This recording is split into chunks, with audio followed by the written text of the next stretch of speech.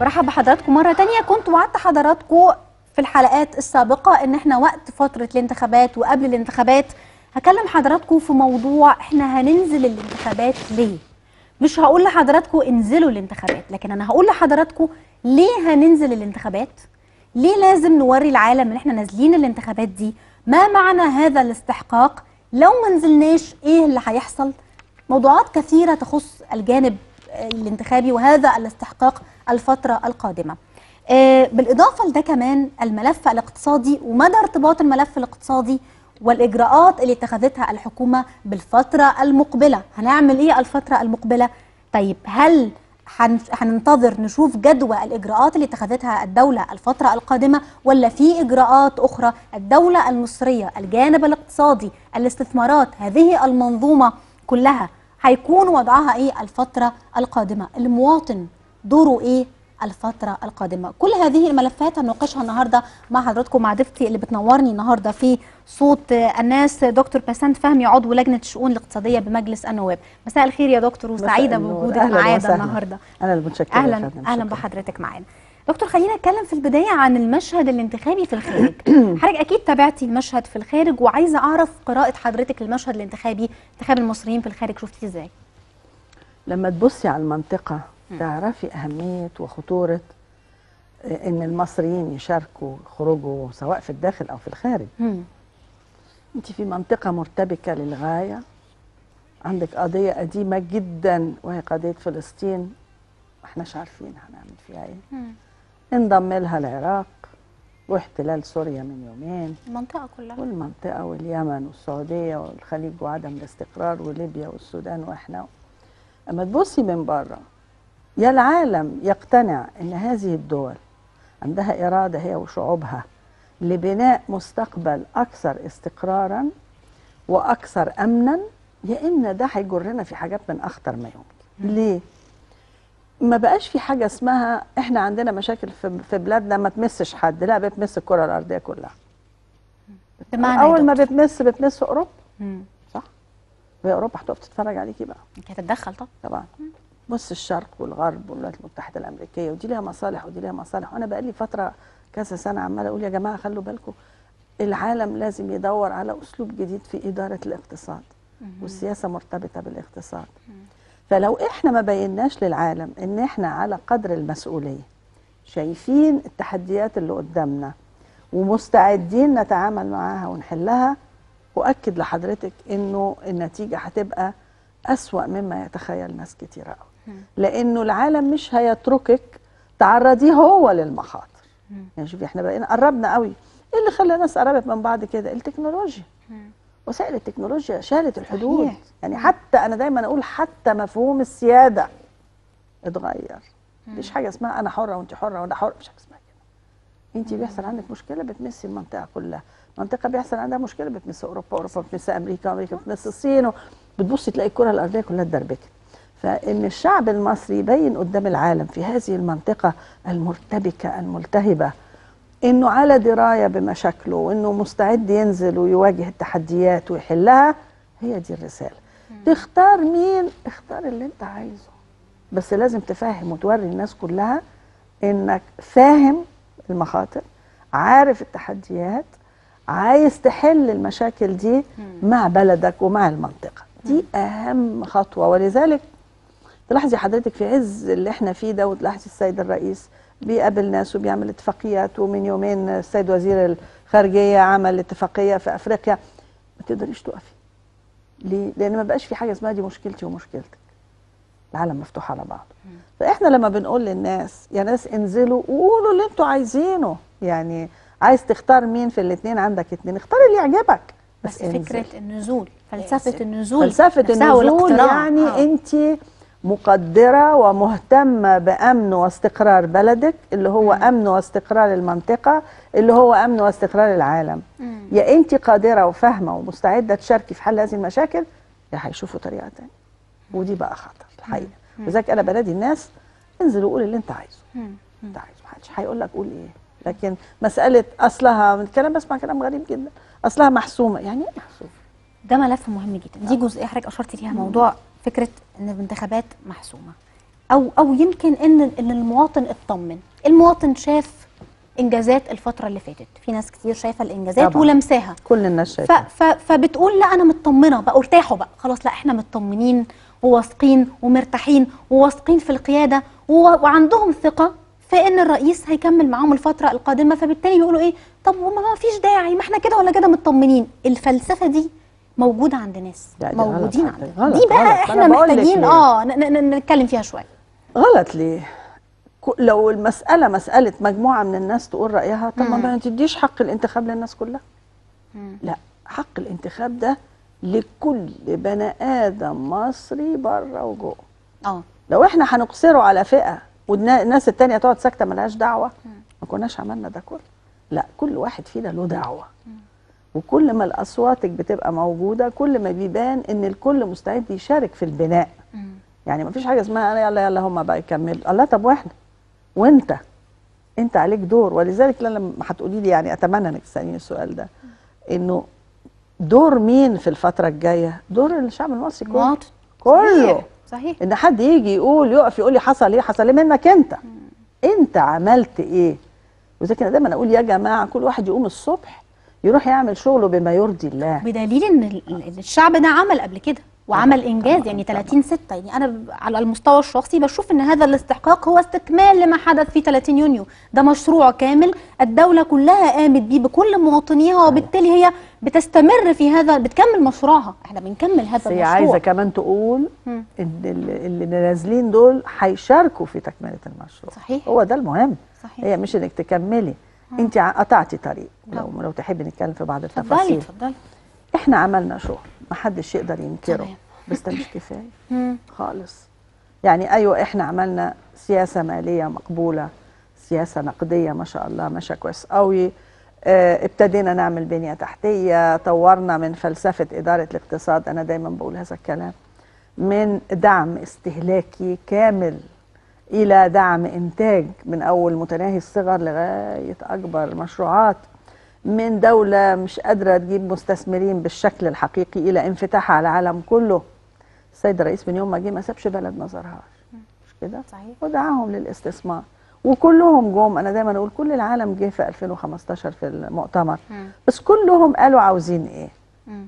يعني أنا أنا بتذكر المؤتمر ده المناخ اللي كويس قوي. جاذب آه للاستثمار. طبعا. آه. يعني كان جه جون كاري من أمريكا وقال عاوزين واحد اثنين ثلاثة أربعة خمسة ستة وكلها حاجات منطقية. أنت ت- شفافية وعايزة إفصاح وعايزة تحاربي الفساد وعايزة حوكمة وعايزة مناخ استثمار جيد وعايزة صحيح. تغيري قوانين و... كل اللي طلبه هو واللي طلبوه الأوروبيين برضو واللي طلبوه آخرين عرب أو غيرهم.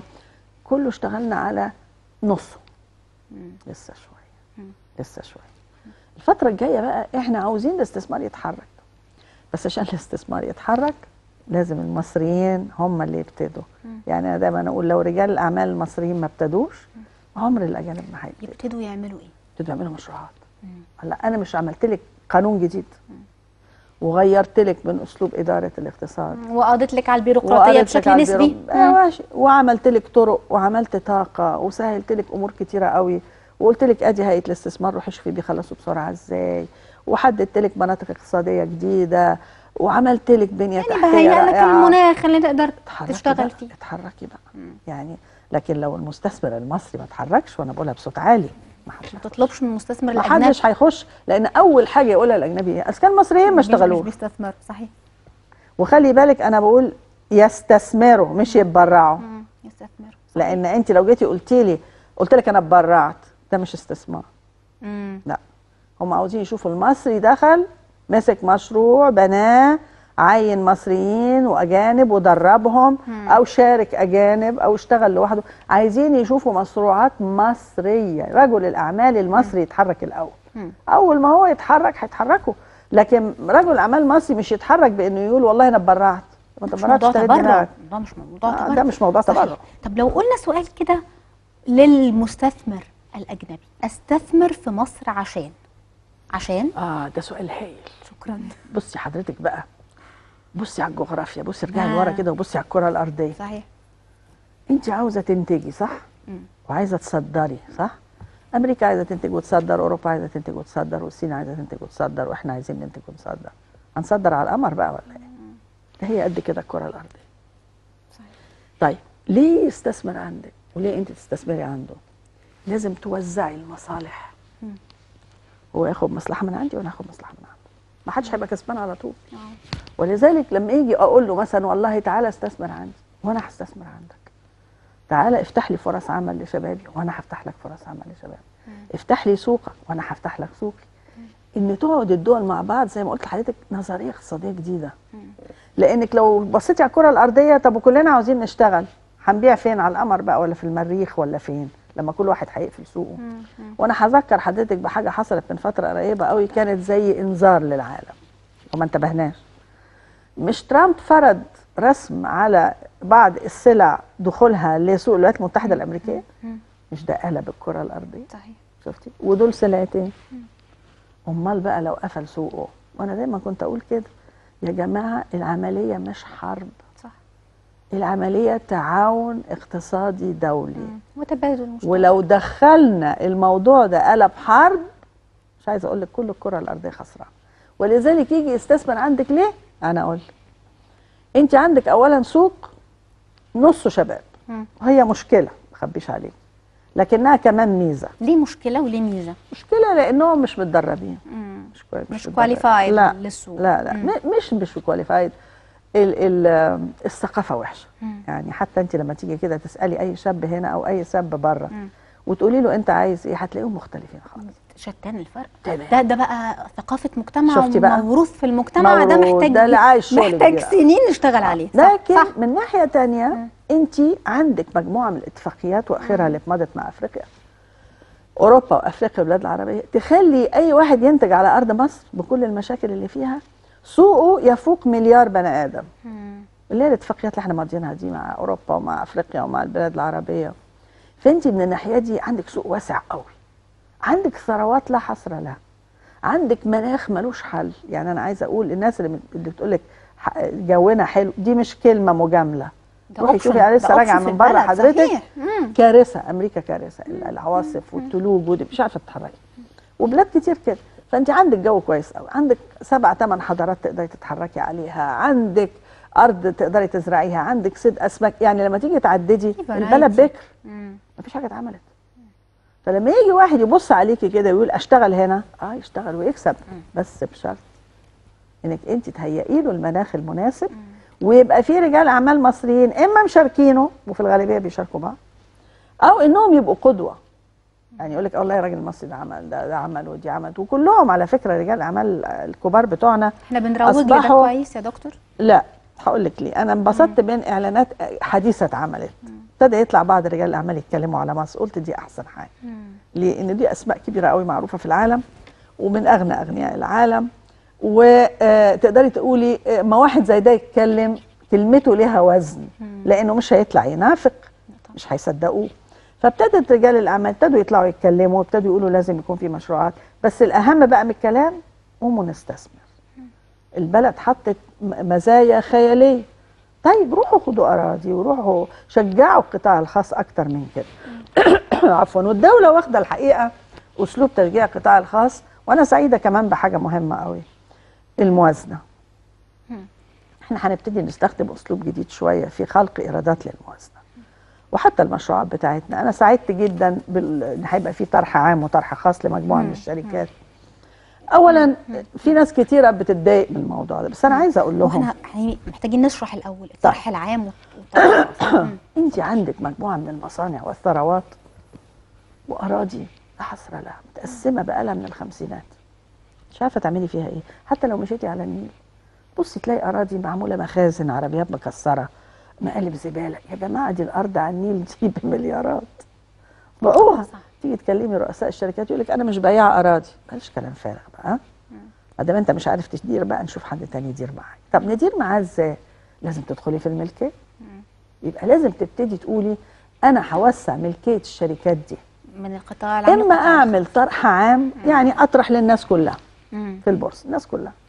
أو طرح خاص هتطرحي لمجموعة من المستثمرين بعينهم.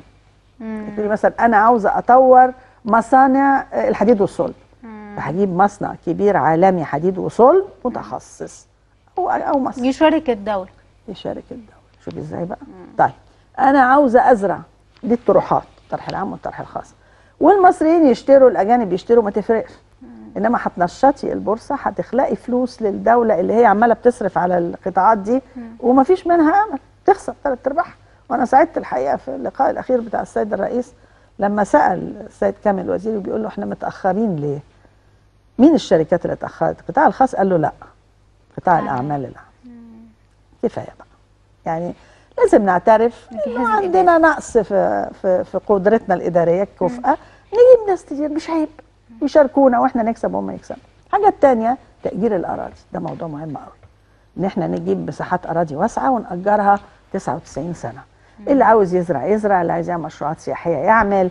اللي عاوز عندنا. المساحات اللي تسمح بده. خبر. عندنا ثلاثة تسمح غير. إنك تأجري تخشي شريك.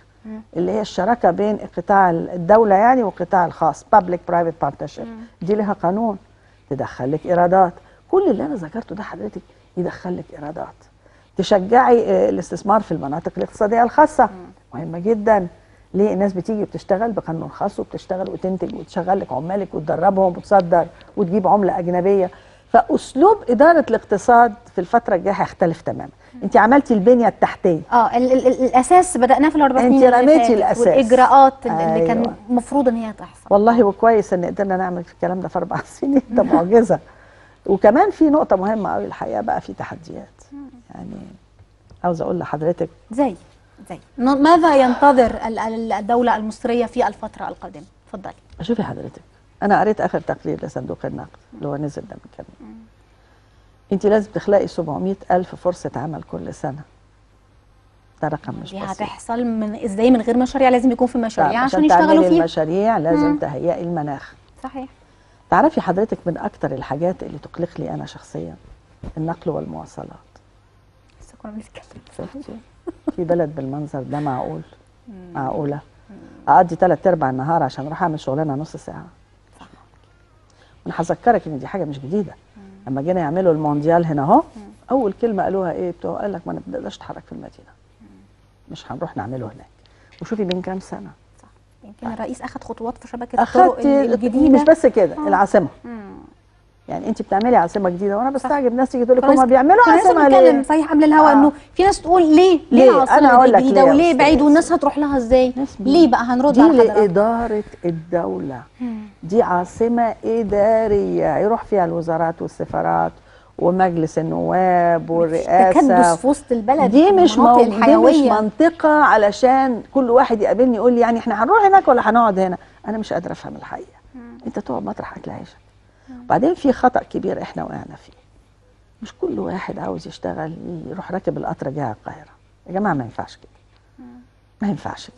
إحنا النهارده عندنا 27 محافظة عاوزين نشتغل في المحافظات عايزين نخلي المحافظات كلها, كلها. فيها في مجال اقتصادي والسوق الاقتصادي فيها مستقر أنت عاوزة العالم كل يبص لك إن ال 27 محافظة بتشتغل. شغالين. لكن كل يوم الصبح أبص ألاقي ملايين تخش القاهرة وتخرج بالليل أو ما تخرجش.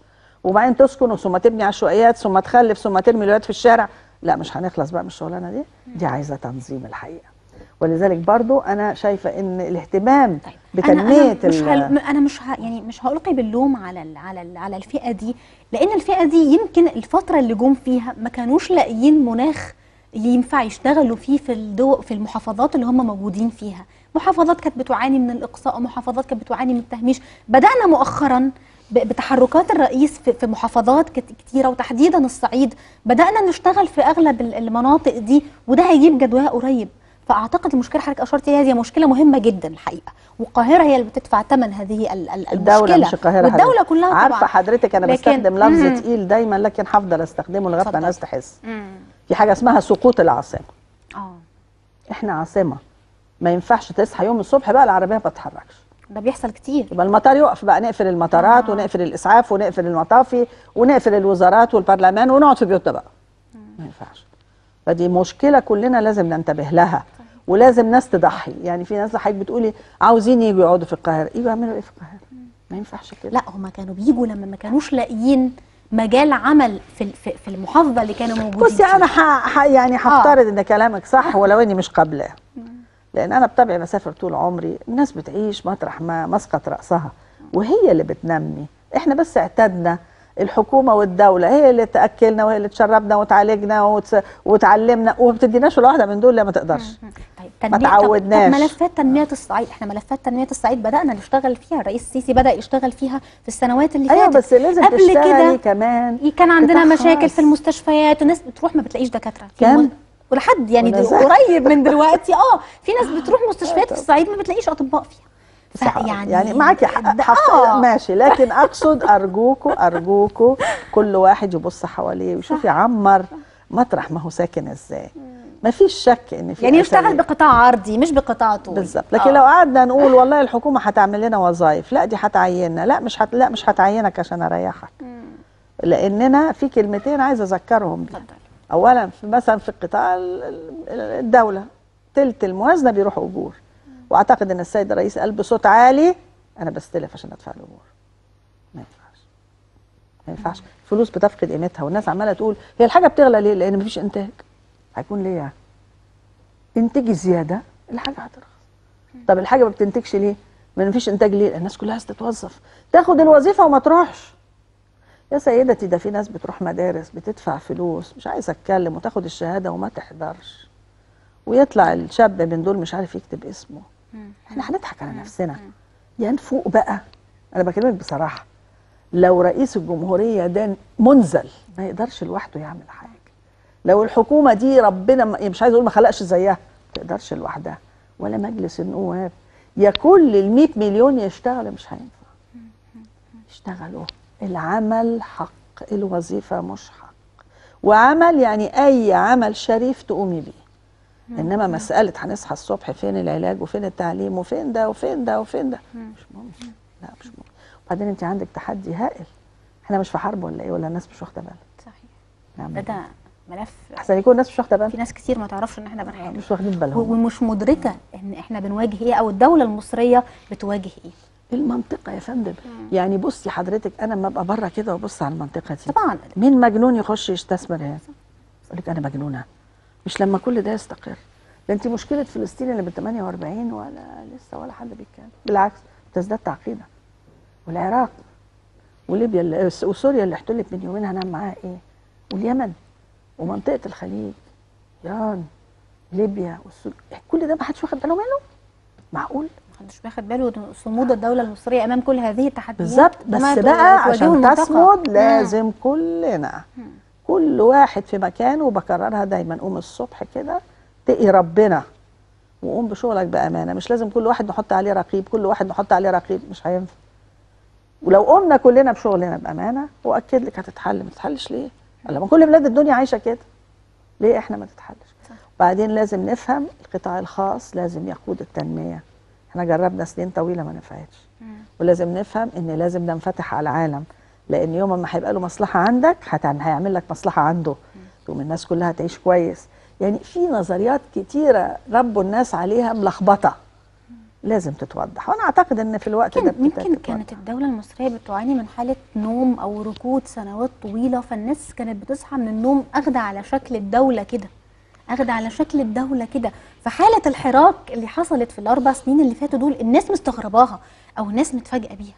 بس حضرتك شخصية محترمة مهذبه الناس كان بينضحك عليها. صحيح. انت ضحكتي على شعبك. خدعتيه. قعدتي تحكي له في قصص وهم وأغاني ومزيكا ورقص وطبل وفي حقيقة الأمر عمال بيرجع لورا يرجع الدولة. بتتهالك. بتتهالك وبتقع. لغاية جيتي النهارده اتلحقت إن إحنا قدرنا نعمل موازنة كويسة واتلحقت إنك قدرتي ترفعي الاحتياطي. وترافع وبتقدر تسد الديون اللي عليكي. انت عندك مشاكل قد كده؟ يعني لو قلت لحضرتك التحديات اولا عندك تحدي الأمن الغذائي. دي عايزة استراتيجية كاملة. عندك تحدي المية اللي مرتبط بيه. عندك تحدي عدد الشباب. عندك تحدي الخنقة اللي في المحافظات وعايزة تتفك. كل دي تحديات عندك تحدي قدامك. الإرهاب. وتحدي الإرهاب والحرب اللي انت فيها وتحدي حدودك اللي ما انتش عارفة تعملي معاها إيه. دي انت عندك تحديات هائله الشعب لازم يفهم هذا الكلام وان كل واحد فينا له دور. إحنا مش جايين أساتذة زائرين نصحى الصبح نقول هو إيه الأخبار الأكل بقى وننظر لا بكام وننظر ون ونقيم لا، لا، ونحلل. لا، لا، لا. دي دي مرحله حرجة هنعدي منها إن شاء الله. لكن الكل لازم يعرف دي مرحلة تضحيات مش مرحلة يعني كل واحد بيحارب في مكانه من موقعه. طبعا طبعا طبعا. بصي حضرتك أنا مش عايزة أقول لك موضوع النقل والمواصلات ده ده موضوع مش هزار. حقيقي. لأن ده لو البلة والعاصمة دي وقفت تروحي فين بقى؟ فانت محتاجة تتحركي بسرعة محتاجة نخلص العاصمة الجديدة أسرع من كده محتاج نفكر كويس قوي كل واحد يقعد مطرحه. ما يجيش وينزل على العاصمة ويلم العيلة. لا. عندك تحدي قاتل اسمه العشوائيات وعلى فكرة العشوائيات مش إنك تنقليهم من عشة لشقة. ده انت عايزة تغيري الثقافة والتعليم وتشوفيهم لهم صحيا. حياة ادميه حياة بالظبط آه، مش إنك بناء مجرد إنسان. آه. نعيد بناءه من أول وجديد. ما بيقولوا لي. بنينا طيب دي آه. خطوة كويسة بس. ده مش النهائي لا مش النهاية طبعا. لا انت عاوز تشتغلي على التعليم والثقافة والصحة و... الاولاد دي لازم تتربى من الأول دي دول غلابه ففي عندك تحديات كتيرة. القاهرة بشكل العشوائيات اللي فيها ده ما ينفعش. فانت بتتحركي الحقيقة بس الناس أنا دايما أقول ذكروهم كتير عشان إحنا فينا عيب بننسى. يعني أنا نفسي الكلام ده يتقال كل يوم الصبح كل يوم الصبح. عشان ما حدش أول ما يصحى يتلهي في حاجة تانية. وبعدين في موضوعات تانية برضو عايزة واقفة الحقيقة يعني موضوع إن القاهرة صاحية 24 ساعة استهلاك الكهرباء وإنهاك الطرق. ده أنت حتى لو عايز تنضفي تنضفي إمتى؟ كانت صاحية 24 ساعة. حتى لو عايزة تستثني بعض الأماكن الأثرية. عايزة تستثني. لازم البلد عايزة وقفة في كمان تحدي كبير قوي جاي لنا نخلي بالنا منه. سيبك من الصناديق الخاصة إحنا مش هنسيبها خلاص وهنفتحها إن شاء الله في البرلمان وفي اللجنة الاقتصادية. إنما في موضوع برضه هيطلع لنا قريب مش لازم نستنى لما يطلع. دي مش هتنقلي العاصمة الجديدة؟ صحيح. المباني اللي هتفضل دي هنعمل فيها إيه؟ ولا هنسيبها برضو يحصل فيها فساد وبعدين نجري ورا الناس ونلمهم وندخلهم السجون؟ لا. عايزين بقى نعمل كشف. إيه سيناريوهات الدولة المفروض أيوه؟ أنا هفضي إيه على فكرة ده في منها قصور. مم. صحيح. ده في قصور وفي قصور معمولة أقسام بوليس وفي قصور معمولة وزارات. أنا كنت في وزارة التعليم من يومين. ده قصر الأميرة فايده آه فاطمة. إيه يا جماعة؟ الحاجات دي تجيب فلوس تتجدد وتجيب فلوس تتعمل متاحف. وفي مباني هائلة هتفضى هيتعمل فيها إيه؟ فإحنا عاوزين استراتيجية من الدولة تقول لنا هتعمل إيه؟ مش نستنى لما ننقل وبعدين نقعد 10 سنين نسرق فيها وبعدين نفوق. صح. زي الخصخصه اللي اتعملت سنة 96 ففي موضوعات كتيرة البلد في كل ما تفتحي حضرتك دوسيه تلاقي فيه شغل قد كده. ملفات كتيرة جدا. قوي قوي قوي طيب خليني أستغل وجود حضرتك معانا وأسألك عن ال- البرلمان. شايفة دور البرلمان الفترة اللي فاتت إزاي؟ ومنتظرة من البرلمان إيه الفترة القادمة؟ لا شوفي حضرتك بالرغم من اللي فاضل هو أعتقد سنتين حاجة بسيطة يعني. لكن أؤكد لك اولا أغلب اللي دخلوا البرلمان بما فيهم أنا كنا جداد.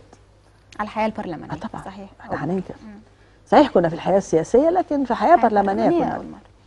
فدلوقتي تأكدي إنه الكل ابتدى يشوف بشكل أوضح. يعني الأول كان الناس كلها مش عارفة. نقابية. وبعدين ما فيش كمان المحليات فكل البرلمانيين بيقوموا بدور. بدورين. آه ويا آه، هو دور واحد صحيح، لأن ما فيش دورين. آه، طول النهار عمالين يجروا يمين ويجروا شمال لخدمات المواطنين. دي مش شغلتنا. مش مش لا إحنا رقيب ومشرع. الدور ده هتشوفيه آه، شديد قوي في الفترة الجاية. ليه؟ علشان التحديات. يعني أنا قلت لحضرتك لو خدنا كل تحدي وحطيناه قدامنا تحدي التعليم. أنا مبسوطة قوي برضو من قرار إن مفيش جامعات خلاص إلا مع توأمة عالمية. ليه؟ ده مهم جدا. آه لأن آه، إحنا كنا نقلة نوعية في التعليم ونظام التعليم. يعني مش عايزة أقول جه وقت من الاوقات لغينا حتى اللغات الاجنبيه من المدارس يعني مش عايزين نرجع لورا وندوش دماغنا إنما انت بتغيري خالص. التعليم تحدي كبير الصحة تحدي كبير جدا جدا. الطرق تحدي كبير. فانت كل قطاع من دول هنبتدي نمسكه. الامن الغذائي تحدي كبير. إن يبقى لك موازنة واحدة للدولة.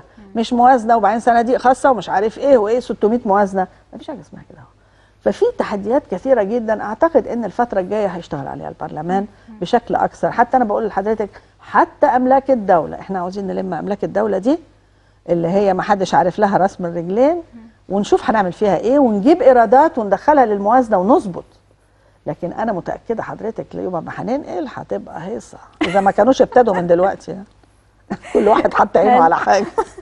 صحيح والله يا دكتور. حاجة مش معقولة. هل هل في علاقة بين الانتخابات والاقتصاد والوضع الاقتصادي في الدولة؟ شوفي حضرتك أنا مش متحيزة.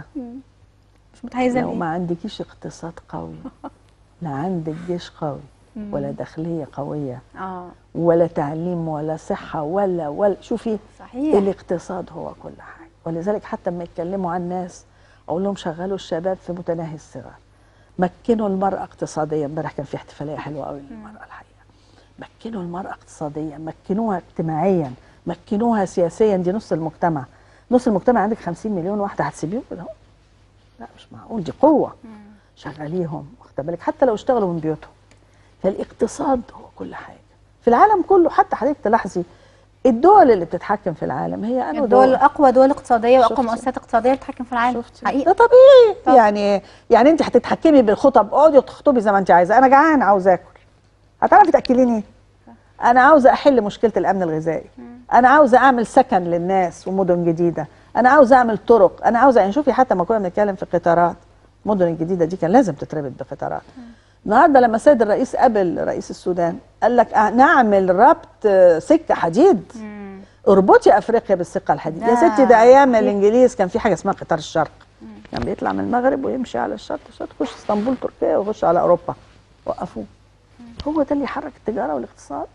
لكن هتنقلي كله بالبنزين والجاز اللي عمال بيغلى بعربيات والحوادث والطرق. و... فأنت محتاجة لسه في الفترة الجاية الحقيقة إن شاء الله يعني التحدي الاقتصادي ده تحدي كبير. بس أنا عايزة أقول لك الاقتصاد مش كلمة. وبعدين بقى ما دام اتكلمنا على الاقتصاد أنا عايزة أقول كلمتين كده جوايا مضايقني يعني. مش معقول يا جماعة كل ما يحصل خلاف في الرأي السياسي الاقتصاد اللي يدفع الثمن بمعنى؟ بمعنى أنا اشتغل أنا عندي مثلا استثمارات مع من إنجلترا. اختلفت في قضية معينة مع الإنجليز. أطرد الاستثمارات دي ولا أقفلها ولا أعمل إيه؟ ده ده قطاع وده قطاع. ده أكل عيش. شفتي بقى إزاي؟ ولذلك ده خطأ كبير في أغلب دول العالم الثالث إن بيفتكروا تربط ده بده. تربط ده. حصل. يعني أنت عند حضرتك استثمارات في أمريكا. إحنا اختلفنا مع أمريكا. يستولوا عليها ويطردوكي؟ مستحيل. ليه؟ محدش هيخش تاني. فدي برضو نقطة أرجو إن إحنا نوعي الناس شوية فيها لأن أنا بلاحظ كده في بعض الأحيان بنخلط الورق. الاقتصاد هو الحياة. هو أكل العيش هو الوظائف للشباب هو السترة للعائلات هو جيش قوي هو داخلية قوية هو كل حاجة هو تعليم قوي هو صحة قوية. فكلنا لازم نشتغل على الاقتصاد وما نلخبطش الورق. دي مهمة. صحيح. دكتور أنا كنت أتمنى الوقت يبقى أطول من كده كان في لسه. ملفات. كتيرة ولكن أنا سعيدة بوجودك معانا ألف شكر يا فندم، و- متشرفة. وهنلتقي إن شاء الله قريبا نتابع المستجدات الاقتصادية وعلى الساحة السياسية كمان أهلاً بشكرك وسهلاً. شكرا جزيلا دكتور بسنت فهمي عضو لجنة الشؤون الاقتصادية مجلس النواب ألف شكر. بشكر حضراتكم شكرا جزيلا كنا معاكم النهارده في صوت الناس وختمنا معاكم مع ضيفتنا الكريمة دكتور بسنت فهمي أعتقد إننا ممكن نكون جاوبنا على تساؤلات بتدور في أذهان كثير من حضراتكم. إن شاء الله يكون في لنا آه، لقاء آه، آخر. وأنا بشكر حضراتكم وألتقي بيكم إن شاء الله في أول أيام آه، الانتخابات. مصر تنتخب الرئيس 2018 يوم 26 القادم. إن شاء الله ألتقي بيكم وبكرة صوت الناس مكمل مع حضراتكم مع زميلي أحمد الشاعر. بشكركم شكرا جزيلا. وألتقي بيكم على ألف خير. مع السلامة.